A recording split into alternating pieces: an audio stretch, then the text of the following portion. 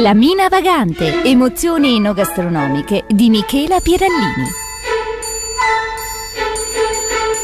La Mina Vagante. Buongiorno Elisa, buongiorno a te che stai ascoltando Marca D'Occhi in radio.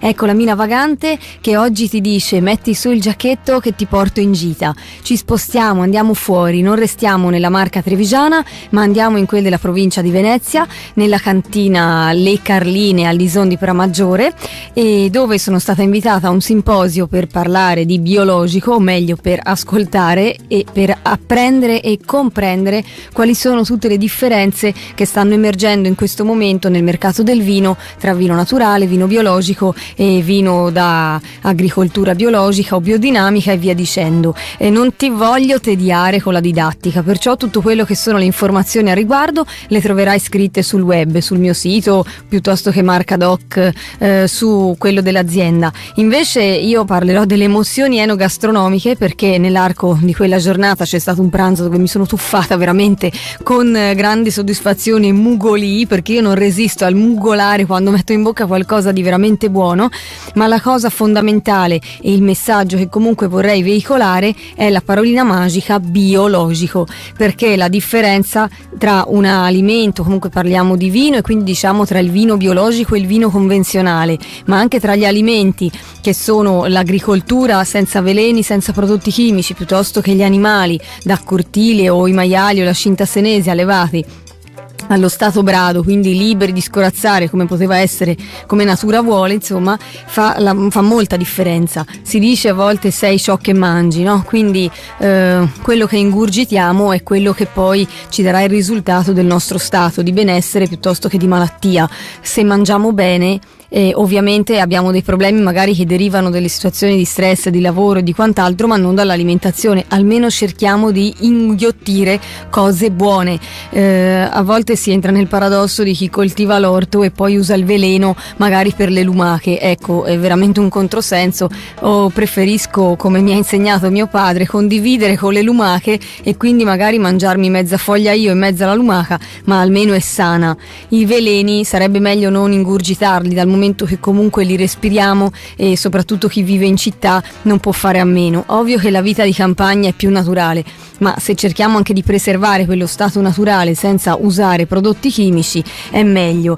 Quindi parlando, parliamo di biologico nel vino Cosa emerge in questa, in questa, comparazione tra i vini biologici e i vini convenzionali? Intanto esce la, mm, la particolarità del vitigno. Eh, il um, dottor Chinellato ci ha portato un esempio durante la degustazione dicendo appunto emerge la pulizia dal punto di vista delle caratteristiche del vino, perché se prendiamo ad esempio un Sauvignon che ha la classica, il classico sentore da foglia di pomodoro, foglia di salvia, come la vogliamo chiamare, eh, si tende nei vini convenzionali a farli tutti omologati omologati e quindi diciamo che si assomigliano più o meno tutti, mentre nel biologico non mettendo solfiti, quindi senza solfiti aggiunti, lasciando la fermentazione in mano ai lieviti indigeni e non aggiungendo lieviti selezionati, avremo una riscoperta della tipicità del vitigno che si può esprimere in libertà. E dopodiché eh, il discorso salutare ovviamente, meno schifezze mettiamo nel vino, concedetemi il termine, e, e più sano il vino sarà. Quindi il discorso dell'alcol, tanti si soffermano sul contenuto alcolico, per cui a prescindere il vino fa male perché è alcolico. Non è esattamente così, perché ci vuole buon senso in tutto. Il paradosso è un po' quello dell'acqua, no? Nessuno potrebbe dire, nessuno può dire che l'acqua fa male, ma se ne bevo 10 litri sicuramente bene non sto. E così il vino è vero che contiene alcol, ma se io ho una vita movimentata e comunque riesco a consumare quello che bevo, di certo il mezzo bicchiere di vino a pasto non mi farà male. Poi io comunque ne sono la conferma perché ho sempre bevuto e sempre continuerò a farlo e sto e sto benissimo.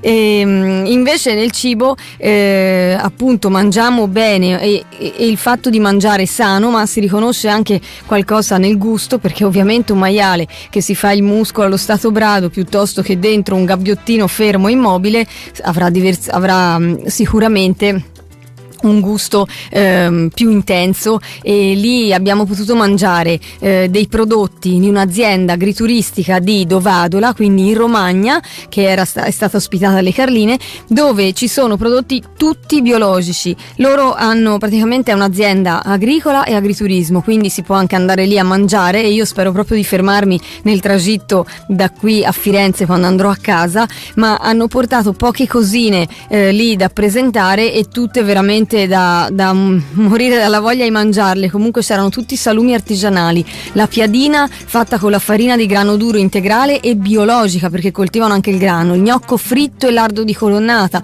Il tortello alla lastra ripieno di zucche e patate. L'olio, il pane e la focaccia integrale.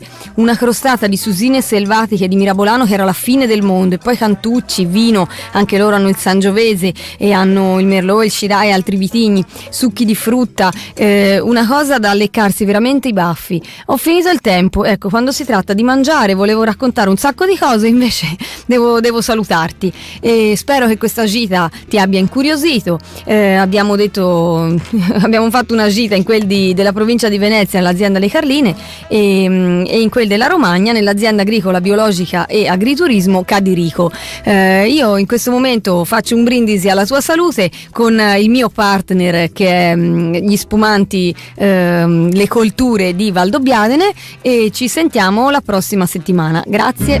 Marcadocchi in radio vi ha presentato La Mina Vagante. Emozioni enogastronomiche di Michela Pierallini, in collaborazione con l'azienda Le Culture Vini Spumanti di Valdobbiadene.